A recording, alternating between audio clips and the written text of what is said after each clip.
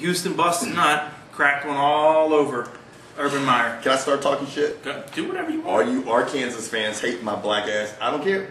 I don't care. Mississippi's three and two. Yeah, yeah. Mississippi's three and two. Arkansas is I don't know. Who knows? Who cares? Because I'll tell you what, you guys got a traitor, a deserter. They hired a deserter. Arkansas hired a deserter. And you know what, man?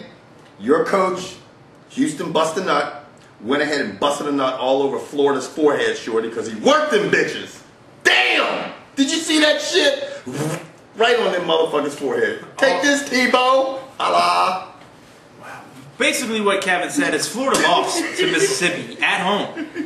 So Man. 31-30. Again, that was another great game. Um, Yes, came down to Mississippi blocking an extra point to keep it from going to overtime. Yep. And then um, just shutting mid Florida down on a fourth and one. It did. So- And I don't hate Florida. I like Florida, actually. I like Tim Tebow. He's a stand-up guy. but he's got a mouthful of nut, so Yeah. he really likes Houston.